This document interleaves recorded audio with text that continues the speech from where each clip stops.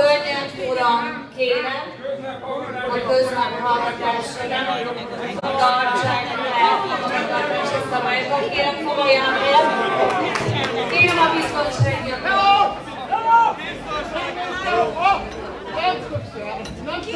Jó, jó, hölgyek,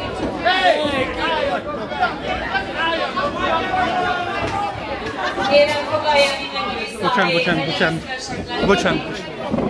Hát hogy ne északi kell? Megütött egy asszony? Hát hogy lehet?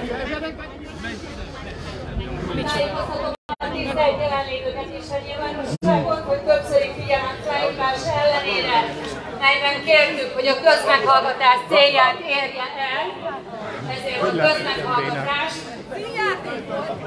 13 óra 50 perckor bezárom.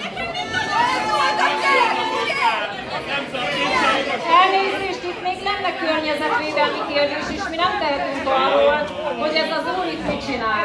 Nekünk semmi közünk nincsen hozzá.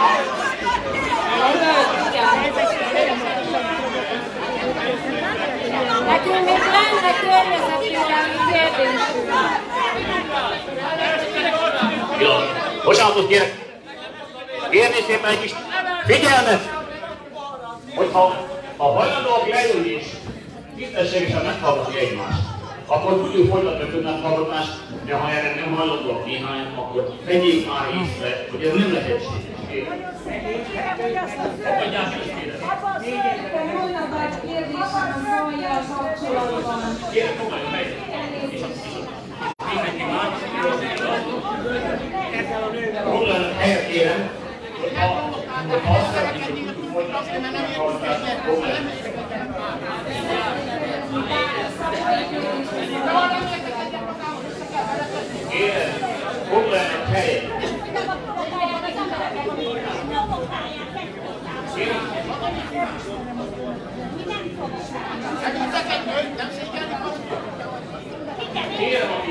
ha azt szeretnék, hogy tudjuk folytatni a közmeghallgatást, foglaljon Kérem, foglaljanak helyet. Kérem, aki szeretné további szakmai kérdések elhangzik, sajnálom, megpróbáljuk legyen, foglaljunk helyet, legyen kedvesebbek.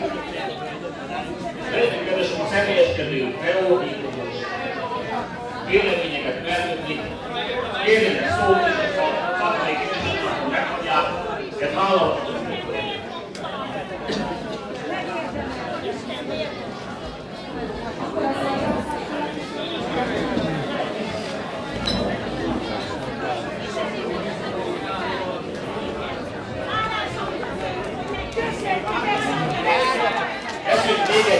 Kezdjünk még egy kísérletet, foglalnak helyet kérem. Kezdjünk még egy kísérletet arra, hogy megpróbáljuk. Megpróbáljuk kultúrás körülmények között közmeghallgatást tartani, amennyiben ez újra sikertelenné válik, úgy kénytelen teszünk közmeghallgatást fejezni. Hát még egyszer mondom, megkísérjük még egyszer, de legyenek ennek partnerek, könyörök. Az attól még nincsen szó. Hát milyen volt? Annyit szeretnék, uram, uram, ja, azt szeretném mondani, hogy ezek ketten állandóan provokáltak itt mindenkit. Ketten provokáltak mindenkit. És ha ezek nem lesznek, ha ezek, pillanat, bocsánat, a gondolatom, hagyd fejezzem fél perc. Hogy állítom és garantálom, hogy akkor csend lesz, így van, hogy ezeket a, a termultókat innen kivitték. Hát ha ön garantálja a csendet, akkor szanatok. Köszönöm, hogy itt előtt a foglaljon helyet kérem. Akkor engem ne hagyjatok már csendben. Köszönöm a, köszönöm a lehetőséget, amit találjátok körül. Foglaljon helyet, és akkor ha van szakmai kérdés. Igen, van. Én igen, láttam, hogy kérem. aki eddig is önkérdezett eddig is igaz, hogy Nem, nem, nem, nem, nem, nem. A zajjal kapcsolatban szeretnék kérdezni, illetve úgy látom, hogy a hölgy az előző kérdéshez kapcsolódóan, ami a vízzel volt, még akkor odaadom neki, és akkor utána Egy visszatérem a kérjük a jegyzőkönyv rögzítés érdekében 13-50 perckor rendzavarás miatt. Bezárásra került, 13 óra 56 perckor. Környezetvédelmi tárgyi közmeghallgatás tovább folytatódik figyelemmel arra, hogy a lakosság részéről és a nyilvánosság részéről környezetvédelmi tartalmú kérdéseket, észrevételeket kívánok megfogalmazni, ami a közmeghallgatásnak a célja. A hosszú hajú hölgybe sajnos belefolytották a szót, a zöldkabátos, hosszú hölgy, aki az előtt kérdezett, belefolytották a szót, és kérdezett környezetvédelmi kérdéseket. Van-e még kérdése esetleg? Ha nem, akkor átadnám a szót a fehér sávos hölgynek. Lehet? Jó. Vagy akkor a fehér... Hallgatjuk. Köszönöm szépen, tovább Szeretnék még visszakanyarodni a vízhez, kicsit nem most azért a neves indulatok után. Az egyik kérdésem az lenne, hogy a környezeti hatás, hatástanulmányban, a vízfejezetben, ugye az az első mondat talán, hogy a, a gyár az a vizét az ivóvíz hálózatra kötve fogja nyerni, és ugye 3000 valahány száz köbméter az átlagos vízfogyasztás, és 6000 valahány száz köbméter a csúcsvízhozam, aminek ugye a, ugye a csúcsvízigény, aminek a 85%-a el fog párologni. Tehát ö, semmilyen módon nem látom, elnézést, hogy oda nézek, Jönre uram, semmilyen módon nem látom megjelenni a környezeti hatástudományban azt a remek ötletet, hogy szürke víz kerüljön felhasználásra. Illetve ugye azt sem nyilván megint csak uh, tudjuk, hogy ez egy ütemről szól, tehát uh, közel nincsenek a számok ehhez a 20 valahány ezerhez, amiről már régóta uh, szó van.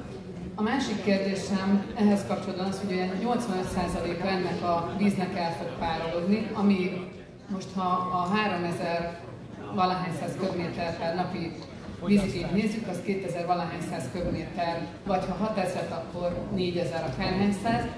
Ez ugye ott lesz a, a légkörben páraként, ami adott időjárási körülmények között akár ugye nedves kiülepedést is okozhat. Azt vajon vizsgálták-e, hogy ennek a párának, ugye nyilván azt olvastam, hogy a különböző légszennyező anyagok terjedését vizsgálták, de hogy vajon azt vizsgálták-e, hogy ennek a párának a terjedése milyen, lecsapódhat-e, nedves kiülepedést okozhat-e. Ugye a ezt tudom a környezeti hatástanulmányra vonatkozó előírásokat, elég jól ismerem, azt is látom, hogy nem igazán támogatja, vagy, vagy ö, ö, igényli azt, hogy, hogy a egymásra hatást ö, gyakorló folyamatok megjelenjenek.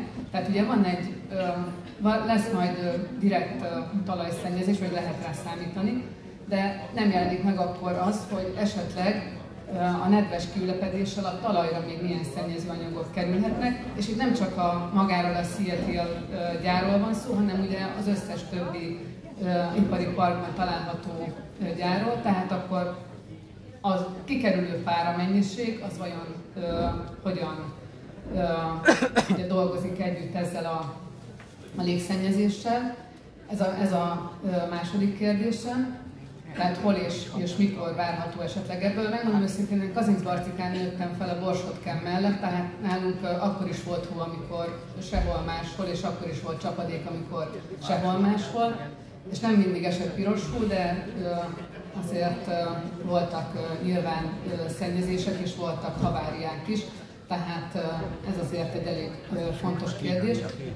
A, elhangzott már a arra vonatkozóan kérdés, hogy hogy vizsgálták-e esetleg regionális szinten, mert hogy tudom, hogy a hatástanulmányban nincs, de ez nem feltétlenül jelenti azt, hogy nem vizsgálták, a, a vízigények, illetve a rendelkezésre álló vízkészlet hosszú távú változását, mert hogy ugye az nem jelent meg a hatástanulmányban, hogy hány évig szeretnék üzemeltetni ezt a gyárat. Mert hogyha 10 év az viszonylag rövid táv. Ha mondjuk abban gondolkoznak, hogy 20 év, ott már a klímaváltozás hatásai elég komolyan érvényesülhetnek. Tehát azt, hogy mondjuk, amit már szóba hozott itt egy úr előttem, délelőtt, ugye Szolnok városa a Tisza folyóból kapja a ivóvizét teljes egészében. Idén nyáron lejjebb kellett rakni a Tiszán, Tiszában a Szolnoki ivóvíz kivételi mű kivételi nyílását, mert hogy annyira alacsony volt a Tisza vízszintje. Tehát, hogyha azt feltételezzük, hosszú távon a Tiszában kevesebb lesz a víz, mi pedig szeretnénk ennyi vizet tartani a keletiben, amennyit most tartunk, és meg fog nőni a mezőgazdasági vízigény a hosszabb, tartósabb szárazságok miatt, ami miatt öntözni kell, amire a keleti vizét használják, tehát akkor hogyan garantálható azt, hogy a, hogyan garantálható az, hogy itt lesz mégis elég víz 20 év múlva. Tehát ezt, ezt nem láttam a tanulmányban uh, sehol, és én azt gondolom, hogy ezek elég, elég uh, fontos uh, kérdések. Köszönöm szépen. Semmi Nagyon szépen köszönöm a kérdést, nagyon érdekeset kérdez. Az első kérdésére hadd válaszoljak a terület beruházás kapcsán, a másik kérdése az pedig szerintem egy, egy teljesen általános, ide is érvényes és minden máshol is érvényes témakör. A, akkor, amikor a térelmet benyújtottuk, akkor a szürke vízfelhasználásra vonatkozó szándékok, azok még csak tárgyalási fázisban voltak, tehát nem volt mögötte kormányhatározat, illetve megegyezés a, a felek között, hogy azt, azt szerepeltetni tudjuk, de az időközben benyújtott hiánykótásba ez már szóba kerül. Ez azért újszerű, hogy a szürke vízfelhasználás, mert tudomásom szerint Magyarországon sehol sincs ilyen, főleg akkor a volumenben. Tehát ez egy olyan mondhatom innovációnak tulajdonképpen, hogy ez így a, a, az asztalra került, amiből nagyon-nagyon jó lenne mindenkinek, hogy ebből egy általános gyakorlat lehetne, úgy, hogy ezt azért konkrétan jogszabály nem írja elő, hogy, hogy ezeket a szürke vizeket vissza lehessen használni. És a, a, még az, az előző is szerettem volna válaszolni ennek kapcsán, hogy a, a gyárvíz igénye alapvetően két ágra oszlik, miután a víz beérkezik a telephelyre egyik ág a hűtőtornyoknak a vízága, az nem is érintkezik, nem is lát technológiával kapcsolatos tizeket, az megy a hűtőtoronyra, és a ág, ez a 15%-os ág megy a technológiába. Ebbe a technológiába magas vízminőség szükséges, ezért is szükséges még a vízben lévő sótartalmat is eltávolítani, még azt sem lehet benne, és a maradék vízáram, ami pedig a hűtőtornyokra megy, az kerül eltávolításra. És ez a szürke víz, amiről most beszélünk, annak a lehető legnagyobb arányú kiváltása szürke vízzel, ami pedig attól függ, hogy a hűtőtoronygyártó egyik egy csomó más nem környezetvédelmi típusú technikai, technológiai specifikációtól függ, hogy ennek a maximális mértéke mennyi lehet. A, csak rátérnék a másik két kérdésre, hogyha ez egy elegendő van. A, a másik kettő pedig a, a pára és a vízkészlet dolgokat érintette, mint a klímaváltozással összefüggésben. Nekünk környezetvédelmi szempontból a pára, a víz nem számít szennyezőanyagnak, illetve a klímára gyakorolt hatása közvetlenül sem, mint a klímavételen tárgyfélében betartozik. De ennek én utána olvastam, mert kaptunk ezzel kapcsolatos észrevételt már az elmúlt időszakban. Egy kicsit utaltam is rá hogy azt is olvastam, hogy a, a, hogy a kikerülő vízpára tulajdonképpen visszaveri a, a sugárzást, és ilyen szempontból kevés, de, de, de maga a vízpárának nincs olyan hatása, ami, ami, amire oda kéne lenni, figyelembe kéne lenni. A kiülepedés vagy a, a, a kiválás, tehát a, ugye, a harmadpont alá kerül, tehát nyáron, mikor meleg a levegő, akkor ez a vízmennyiség mindenképpen benne marad a levegőben. Ugye ez a, ez a vízterületnek, vagy vízpárának a kijutása, vagy a visszakerülése, akkor jöhet szóba, hogyha téli időszakban is már nem tud a, de akkor már a hűtőtorony kibocsátásánál is már terített lesz, tehát az már elsősorban a telephelyen belül történik meg, hogy annyira túlterített, de egyébként igen elképzelhető olyan helyzet, hogy ez a tiszta víz lecsapódik a, a környezetbe. Én erre a hűtőtorony tervezőkkel kell, hogy a tervezés során. Ez egy hasznos észrevétel, én ebben, itt most ebben a mélységben tudok csak válaszolni. A másik kérdés a vízkészlet, meg hogy csak azt szerepelt az anyagban, hogy a debreceni vízműtől vételezi a, a cég a vizet, az így van, és az, és ez igaz minden, minden vízhasználóra Magyarországon, hogyha a klímaváltozás miatt el fog fogyni a víz, akkor azok az ipari cégek fognak a prioritási listán elsőként lekapcsolásra kerülnek, lesznek először lekapcsolva, mivel, ahogy elmondtam, ez egy igazgató is, hogy a, vízállát, a, a lakossági vízállátásnak van prioritása. Hosszú távon nyilván nem tudhatjuk, hogy mit hoz a jövő, de igen, elképzelhetőek olyan területek a Földön, ahol a gyárakat azért fogják meg bezárni, mert már nincsen több vízkészlet. De ez egyfajta beruházói kockázat. Ők addig kapnak fizetni, ha nincs, akkor, akkor nem Köszönöm szépen szakértő választát, már nagyon régen változik itt a két. Sziasztok! Üdvözlök mindenkit, én a szomszédból jöttem Hajdúszoboszlóról, és hát kavarodnak bennem az érzések, mondjuk úgy az indulatok, kicsit Orbán világát látom. Ugye itt van a felőrött nép, aki az egyórás órát tartja, megvannak a nagy testvéremberék, megvannak a hírhamisítók, nem akarok bántani senkit. Azért jöttem ide, nekem környezetvédelmi aggályok vannak. Hajdúszoboszlón sok dolog bekövetkezett, amire a lakosok nem számítottak a tavalyi év során. Ott is egy céghez lehet kötni, bár nem sikerült kinyomozni, a hatóságok sem tudtak segíteni, a hatóságokban bíztunk, a városvezetésben bíztunk, elfogyott a víz, elfogyott a víz. Elfogyott a víz azokon a részeken, ahol bővítkezett a téglagyár, akik állítólag nem használnak vizet. Akik nem használnak vizet, mert ők száraz anyagot csinálnak, meg így vibróznak. Aztán rájöttünk, hogy itt a vízügyi igazgató úrhoz szólnék, a vízkészlet kapcsán is, hogy önök hogy mérik ezt a utánpótlást, nyilván nyugvó szinten hasonló koncepció alapján mérhetik. Kicsit volt közönni út, út sémához. És azt szeretném megkérdezni, hogy önök hogyan képzelik azt, hogy amikor mondjuk a város vize elkezd fogyni, mert mondjuk beindul egy gyár, a BMW-nek mi nem is tudjuk, hogy mennyi lesz a vízfogyasztás mellette. Azt tudjuk, hogy ez a terület nagyon, nagyon szimpatikus mindenkinek, tehát elképzelhető, hogy valami más is lesz majd még odaépítve, annak is kellene a vízkészletet. Én azt szeretném megkérdezni, hogy hogyan garantálják azt, hogy ez a vízkészlet és az utánpótlás meg lesz. Történtek-e olyan, tehát hogyan garantálja Nagy Isten helyet, a nagy főnök helyet, áramlások föld alatt ott, hogy ez a vízkészlet ide fog jönni, hogy nem tőlünk fog eljönni, akik elhasználásodtunk a nyáron, hagyjuk szokottóról beszélek, nem tudom, hányan vannak itt. Én mind mély hiszem, de kint vagyok a határban egész évben. És olyat, hogy a mezőgazdasági területen, az állami gazdaság melorát öntözött területén, amit a keletiből öntöznek, júliusban több száz, majd csak ezer hektár kukoricát tárcsáztak le, hát akkor hol van az öntözés, hol a meloráció, de legfőképpen hol a víz. Én azt szeretném megkérdezni, ezek után mentek.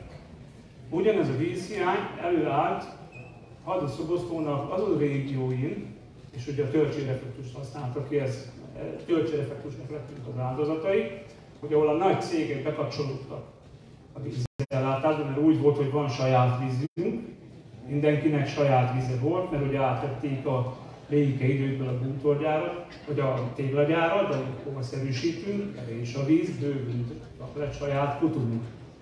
Hát menet közben kikorantálja majd azt, hogy nem fúrnak egy kutat majd maguknak. Egyszer ez a kérdésem.